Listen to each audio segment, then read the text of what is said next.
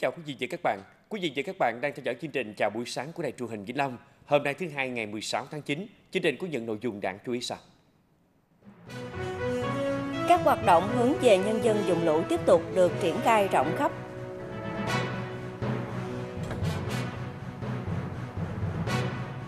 Phương án thi tốt nghiệp trung học phổ thông năm 2025 sẽ có tới 36 tổ hợp bài thi.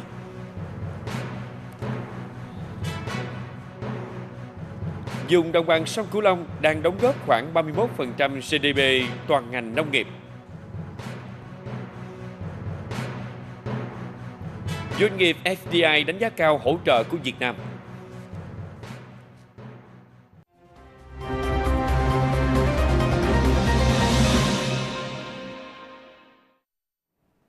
Quỹ ban nhân dân thành phố Hồ Chí Minh vừa có văn bản chấp thuận đề xuất của Sở Ngoại vụ về tổ chức lễ hội Việt Nhật lần thứ 10 năm 2025 tại thành phố Hồ Chí Minh. Theo đó, lễ hội dự kiến tổ chức trong 2 ngày từ ngày 8 đến ngày 9 tháng 3 năm 2025 tại quận Nhất, thành phố Hồ Chí Minh.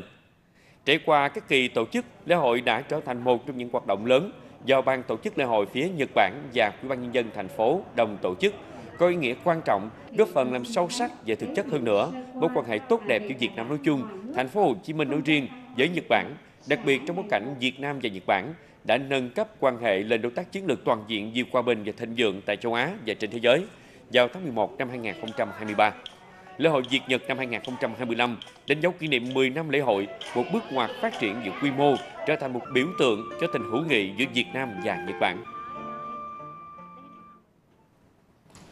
Với tinh thần tương thân tương ái, lá lành đùm lá rách, Đài truyền hình kỹ thuật số VTC, Công ty cổ phần quảng cáo truyền thông Oscar và Báo Hà Nội mới tổ chức thực hiện chương trình nghệ thuật chung tay vì đồng bào dùng bão lũ với chủ đề Việt Nam kiên cường vào tối mai ngày 17 tháng 9 tại Trung tâm Nghệ thuật Âu Cơ, Ba Đình, Hà Nội. Thông qua nghệ thuật, chương trình mong muốn chia sẻ những đau thương mất mát của người dân bị ảnh hưởng nặng nề bởi bão số 3 và quy động những tấm lòng nhân ái hảo tâm của những người con đất Việt cùng hỗ trợ đồng bào khắc phục hậu quả bão lũ. Ban tổ chức cam kết công khai minh bạch số tiền quyên góp qua chương trình. Toàn bộ số tiền ủng hộ sẽ được chuyển tới các địa phương bị ảnh hưởng bởi bão lũ thông qua Quỹ ban Trung ương Mặt trận Tổ quốc Việt Nam.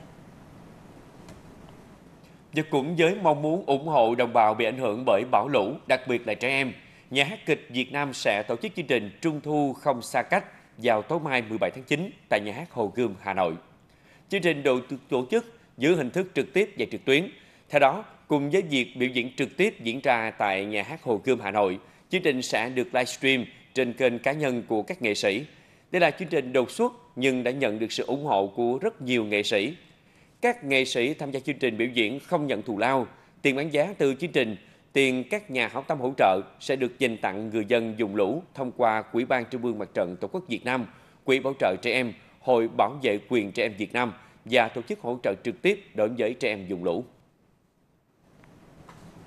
Tối qua, tỉnh đoàn Vĩnh Long tổ chức chương trình đêm hội trăng rằm với chủ đề Lòng đèn thắp sáng ước mơ. Đến chung vui cùng các em thiếu nhi có bà Nguyễn Thị Quyên Thanh, tỉnh ủy viên, Phó Chủ tịch Ủy ban nhân dân tỉnh, lãnh đạo các sở ban ngành và hơn 200 trẻ em, trong đó có 107 học sinh có hoàn cảnh một cô cha và mẹ ở huyện, thị xã, thành phố trên địa bàn tỉnh. Tham gia chương trình, các em thiếu nhi đã được nghe đọc thư chúc Tết Trung Thu của lãnh đạo tỉnh, hiểu về ý nghĩa của ngày Tết Trung Thu và sự quan tâm của các cấp các ngành đối với việc chăm lo bảo vệ trẻ em. Đặc biệt các em nhỏ được hòa mình vào không khí của đêm hội trăng rằm với các tiết mục văn nghệ, múa lân sư rồng và trò chơi dân gian sôi động. Tại chương trình đêm hội trăng rằm, ban tổ chức đã trao 107 suất học bổng và quà Trung Thu cho các em học sinh mồ côi cả cha và mẹ, mỗi suất trị giá 500.000 đồng đồng thời trao gần 100 phần quà cho các trẻ em trên địa bàn thành phố Vĩnh Long để các em có điều kiện đón Tết Trung thu vui tươi, trọn vẹn. Tại trường dân tộc nội trú tỉnh Bạc Liêu, Hải đoàn 42, Bộ Tư lệnh dùng Cảnh sát biển 4 phối hợp với Ban dân vận tỉnh ủy Bạc Liêu vừa tổ chức chung kết cuộc thi Em yêu biển đảo quê hương cho 100 học sinh có kết quả cao nhất của các trường trung học cơ sở trên địa bàn huyện Hòa Bình. Cuộc thi Em yêu biển đảo quê hương nhằm nâng cao nhận thức, tăng cường đoàn kết quân dân, củng cố lòng yêu nước, yêu biển đảo quê hương, tiếp tục đề cao trách nhiệm của công dân đối với sự nghiệp xây dựng và bảo vệ vững chắc chủ quyền biển đảo Tây Nam của Tổ quốc. Dịp này, Hải đoàn 42, Bộ Tư lệnh dùng Cảnh sát biển 4 còn thực hiện một số công tác an sinh xã hội cho học sinh nghèo và gia đình ngư dân có hoàn cảnh đặc biệt khó khăn.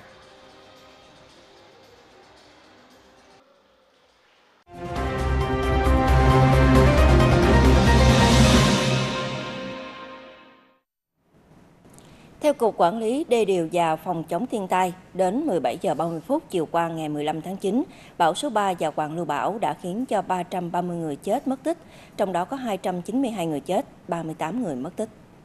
Các hoạt động hướng về nhân dân dùng lũ tiếp tục được triển khai rộng khắp, số tiền quyên góp ủng hộ liên tục tăng và đến 17 giờ chiều qua ngày 15 tháng 9 thì các tổ chức cá nhân đã chuyển về tài khoản của Ban vận động cứu trợ Trung ương là 1.094 tỷ đồng với tinh thần tất cả vì nhân dân, vì sự phát triển của đất nước. Thủ tướng chỉ đạo các bộ ngành địa phương khẩn trương khắc phục hậu quả bão lũ, nhanh chóng ổn định đời sống, khôi phục hoạt động sản xuất kinh doanh, thúc đẩy tăng trưởng kinh tế. Đặc biệt là các ngành địa phương tiếp tục thống kê thiệt hại của nhà nước, nhân dân, tổ chức nơi ở tạm an toàn cho người dân đã mất nhà, đồng thời tổ chức tái định cư cho tất cả người dân bị mất nhà, dù lắp tới nơi ở an toàn, hoàn thành trước ngày 31 tháng 12 năm 2024 với điều kiện an toàn và tốt hơn nơi ở cũ. Tổ chức khôi phục giao thông, đảm bảo an sinh xã hội, không để ai bị bỏ lại phía sau. Thống kê thiệt hại để có chính sách hỗ trợ gia đình bị thiệt hại, miễn giảm học phí cho học sinh bị ảnh hưởng bởi bão lũ. Theo Sở Giáo dục Đào tạo Tuyên Quang, do có sự chủ động trong công tác chỉ đạo và xây dựng các phương án phòng chống bão lũ, nên thiệt hại đối với các nhà trường là không lớn, đặc biệt là không có thiệt hại về người. Nhằm khẩn trương khắc phục thiệt hại do bão lũ, Sở Giáo dục Đào tạo đã chỉ đạo các nhà trường bị ảnh hưởng của bão lũ quy động giáo viên, học sinh, cha mẹ học sinh, phối hợp các lực lượng tại địa phương tiến hành vệ sinh khuôn viên trường lớp, khử trùng, phòng ngừa nguy cơ dịch bệnh bùng phát sau bão, khắc phục cơ sở vật chất bị hư hại do bão lũ. Từ ngày 13 tháng 9, toàn tỉnh có 292 trên 456 trường cho học sinh đi học trở lại. Dự kiến từ ngày hôm nay, 16 tháng 9, 455 trên 456 trường cho học sinh đi học trở lại. Theo Cục Quản lý Chất lượng Bộ Giáo dục và Đào tạo, căn cứ các môn thi được công bố tại phương án thi tốt nghiệp trung học phổ thông năm 2025, sẽ có tới 36 tổ hợp bài thi cho hai môn tự chọn của học sinh, bên cạnh hai môn bắt buộc là toán ngữ văn. Đây là thách thức lớn cho công tác bố trí tổ chức thi và cần được tập huấn kỹ, chạy thử mô hình bố trí phòng thi tối ưu cho các địa phương. Để đảm bảo việc sắp xếp phòng thi là tối ưu, hạn chế tối đa việc di chuyển của thí sinh, Cục Quản lý Chất lượng cho rằng các địa phương cần tiến hành khảo sát nguyện vọng đăng ký môn thi của thí sinh từ tháng 12 năm 2024 và xây dựng các phương án phòng thi bố trí thực hiện thử nghiệm. Trên cơ sở kết quả khảo sát nguyện vọng của thí sinh, các sở giáo dục và đào tạo có thể tiến hành dự kiến phương án sắp xếp địa điểm thi, bảo đảm nguyên tắc. Các thí sinh dự thi cùng tổ hợp tự chọn sẽ được sắp xếp trong một phòng thi. Theo Sở Y tế thành phố Hồ Chí Minh, từ ngày hôm nay 16 tháng 9, hệ thống tiêm chủng Long Châu tại thành phố Hồ Chí Minh sẽ triển khai tiêm ngừa miễn phí vaccine sởi rubella cho trẻ em từ 1 cho đến 10 tuổi chưa có kháng nguyên. Hệ thống trung tâm tiêm chủng Long Châu sẽ tiếp nhận vaccine sởi rubella từ các trung tâm y tế quận huyện thành phố Hồ Chí Minh, thành phố Thủ Đức và tiến hành triển khai tiêm chủng hoàn toàn miễn phí cho các đối tượng quy định chế độ phủ rộng, cơ sở vật chất đúng chuẩn, hệ thống lưu trữ vaccine tối ưu đạt chuẩn GSP và đội ngũ y bác sĩ giàu kinh nghiệm đạt chuẩn an toàn tiêm chủng. Hệ thống tiêm chủng Long Châu sẽ là cánh tay nối dài hiệu quả của Sở Y tế thành phố Hồ Chí Minh và Trung tâm Kiểm soát bệnh tật thành phố Hồ Chí Minh trong công cuộc dập dịch và phòng bệnh hiệu quả. Cục An toàn Thực phẩm Bộ Y tế vừa có khuyến cáo về việc đảm bảo an toàn đối với thực phẩm hỗ trợ người dân dùng bão lũ. Cơn bão số 3 vừa qua đã gây thiệt hại rất lớn. Quan lưu bão gây lũ quét, sạt lở, tạo ra những vùng cô lập. Người dân cần được hỗ trợ nhu yếu phẩm, trong đó có thực phẩm và nước sạch để uống. Ngoài sự đóng góp tiền, đồ dùng thiết yếu, thì một lượng lớn thực phẩm đã được các ban ngành đoàn thể, các hội nhóm từ thiện và các cá nhân quyên góp gửi về các vùng lũ lụt. Tuy nhiên, phân phối hàng hóa thực phẩm cho người dân không đơn giản, phải mất thời gian di chuyển, cung đường khó khăn cộng với thời tiết mưa gió kéo dài – Do vậy cần phải lưu ý đảm bảo thực phẩm an toàn tới tay người dân dùng bão lũ.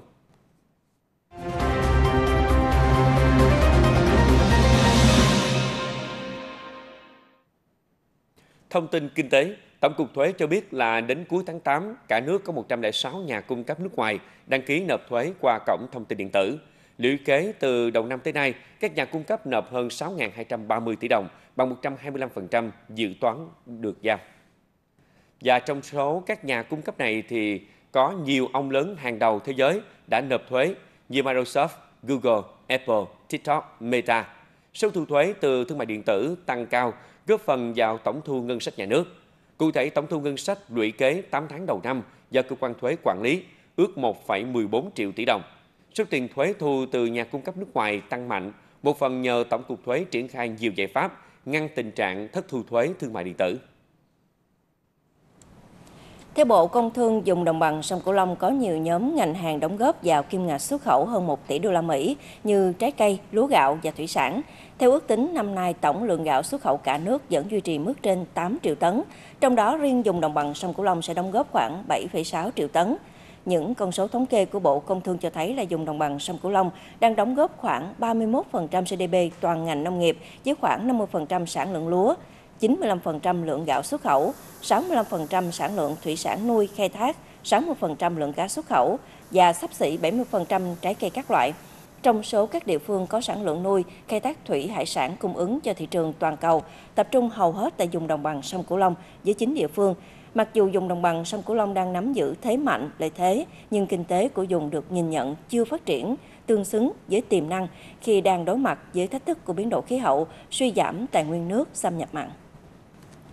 và thưa quý vị, ngay sau khi mưa bão đi qua và ngập úng rút dần thì hoạt động dọn dẹp để tái khởi động sản xuất đã được khẩn trương thực hiện tại nhiều địa bàn ở các tỉnh thành khu vực phía Bắc. Với mục tiêu mỗi người làm việc bằng hai, nhiều biện pháp khắc phục tạm thời đang được các doanh nghiệp tận dụng tối đa để nhanh chóng lấy lại những gì đã mất do cơn bão số 3. Nông nghiệp được xác định là lĩnh vực chịu thiệt hại nặng nề nhất trong cơn bão số 3. Để hỗ trợ các doanh nghiệp có liên quan đến nông nghiệp khắc phục khó khăn, một số ngân hàng đang quy động tối đa nhân lực để nhanh chóng thẩm định thiệt hại. Qua đó khẩn trương áp dụng giải pháp giãn nợ, giảm lãi dai và không thu nợ bằng mọi cách. Hiện nhiều nguồn cung nguyên liệu cho các nhà máy chế biến phía Bắc cũng có nguy cơ gián đoạn do một phần lớn đã bị cuốn trôi. Nhiều cơ sở đang lên phương án điều chỉnh nhịp độ sản xuất, điều phối với các đầu mối phía Nam chia sẻ nguyên liệu, thậm chí là chia sẻ đơn hàng để đảm bảo đáp ứng nhu cầu thị trường cao điểm cuối năm. Sau cơn bão số 3, nhiều doanh nghiệp, nhà đầu tư nước ngoài đánh giá tích cực những nỗ lực của chính phủ cũng như là chính quyền các địa phương trong việc hỗ trợ các doanh nghiệp khắc phục thiệt hại, phục hồi sớm nhất hoạt động sản xuất.